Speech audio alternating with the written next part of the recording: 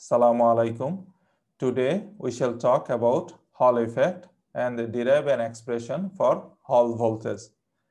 In 1879, Hall observed that when an electric current passes through a material which is placed in a magnetic field, a potential across the edges of the material develops such that the direction of the potential is perpendicular both the direction of the, of the current and the applied magnetic field.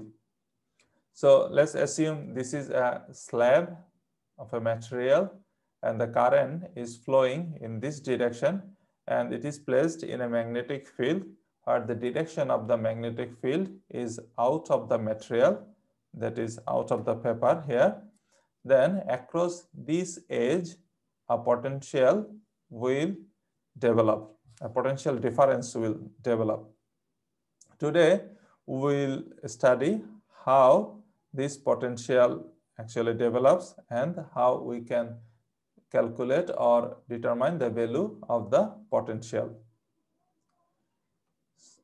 In doing so, we will need to use the cross product of the vectors. So let's review that first. So if A and B are two vectors and their cross product A cross B is determined by the right hand rule. And the right hand rule actually says that if you close your fingers uh, in a direction that you move them from A to B, then the thumb shows the direction of the cross product A cross B. Of course, B cross A is equal to the minus of A cross B.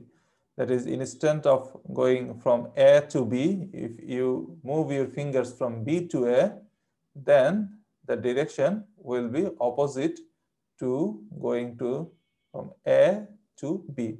That is the direction for the B cross A, it will be in the opposite direction, that is in the downward. Now let's assume this is a slab. So the current is flowing in this uh, through this slab, but let's assume instead of current, let's assume the direction of the electron we know that the direction of the current is opposite to the motion of the electrons. So for the time being, let's assume the motion of the electrons. So electrons are moving in this direction. Now, if a magnetic field is applied such that the direction of the magnetic field is out of the paper, then these electrons, these moving electrons will feel a force because of the magnetic field and that is given by this equation. Now, if you use the vector rule, now we will see that the electron will feel a force downward. That is, when they are moving, they will feel a force in this direction. So, electron will start to accumulate in the bottom edge of this material. Now, this can be understood from the right hand rule. So A is the direction of the uh, electron. So this is the direction of the electron. So if this equals to be the 90 degree, then B is the direction of the magnetic field. So if you are coming from A to B, the direction of the cross product is up. But we have here negative E uh, because we said that these are the electrons. So in that case, the electron will feel a force downward. The direction is flipped because of the negative sign.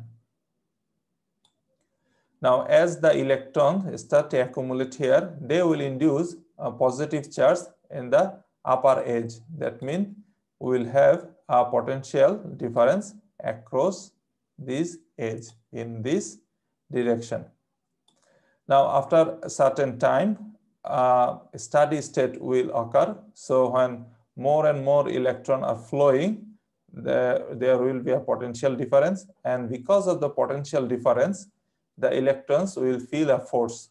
So they are feeling a force from the magnetic field in this direction. And uh, since this is negative, that electron will be repelled from the negative charge and they will be attracted from the positive charge they will feel a force in this direction because of the potential developed across this edge.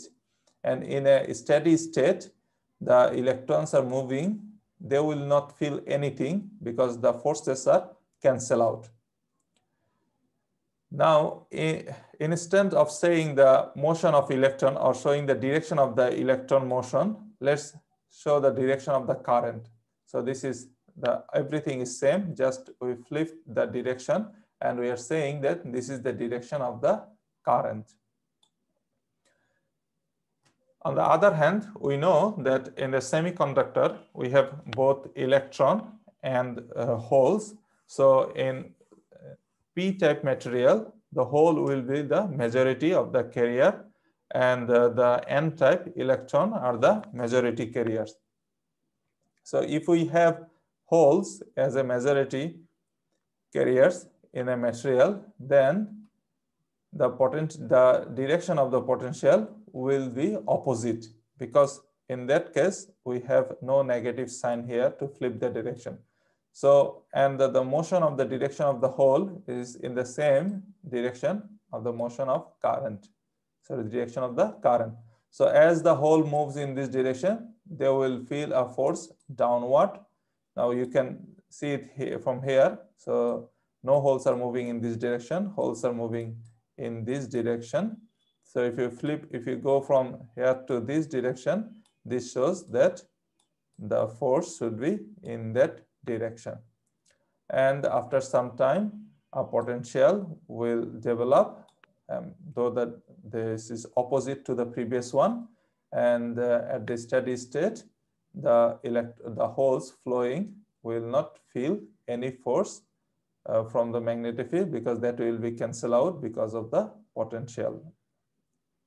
Now the direction of the hole can also be understood seeing this way. So if you uh, put your uh, thumb in the direction of the potential, uh, sorry, motion of the holes and the other fingers show the direction of the magnetic field, then F actually shows the direction of the force and F is normal to the palm of your hand. So we want to derive an expression to calculate the voltage difference that is developed because of the magnetic field. For that, let's assume this geometry. This is nothing but the same, but just showing all the components. So this is the x direction. The current is in the x direction and the magnetic field is in the positive z direction. This is still out of the paper. So this time we just assume that the charge of the carrier is Q. This Q can be positive, can be negative, and we assume that the number density of the carrier is N. That is, N is the number of carriers per unit volume. And since there is a current, there will be a drift velocity of the charge carrier, which we assume to be Vx. Now, as we said, in the steady state, the force because of the magnetic field will be same as the force field because of the developed potential of the field in this direction. So in that case, since the uh, angle between the drift velocity and the magnetic field is 90 degree, if we just take the magnitudes, we'll have this one. So this subscript just shows the direction. That is, the drift velocity is in the x direction, the magnetic field is in the z direction, there is z direction, and the electric field that is developed is in y direction. So, and because of the electric field, we will have a voltage which we call Hall voltage and they are related with this equation, Hall voltage equals to the minus EY W. Here, W is the width of the material. So you can see it's here, the width of the material. Again, we know that the current can be written in terms of the charge uh, of the carrier and the carrier density, which we write like this way. and here Vx is the drift velocity. Now, using this equation, we can find a, um, equation for VH where we'll be able to measure or the find out the polarity of the charge. So we already know that Ey is this equation. So you put it here. So to have VH equal like this.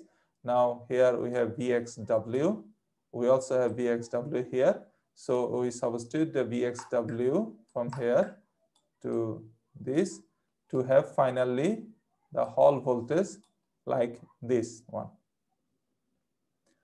And you can see from the polarity of the Hall voltage, we can find out the type of the charge carrier. So if this is, um, uh, so just before saying that, the things in the parenthesis is called Hall coefficient. So you can see from here that if Q is positive, then the Hall coefficient is positive and Q is negative, Hall coefficient is negative. So uh, in the practical purposes, the polarity of the Hall voltage can be measured with the multimeter. And from that, we can find out which charge carriers are dominating or are available in that material. That's all for today. Thank you.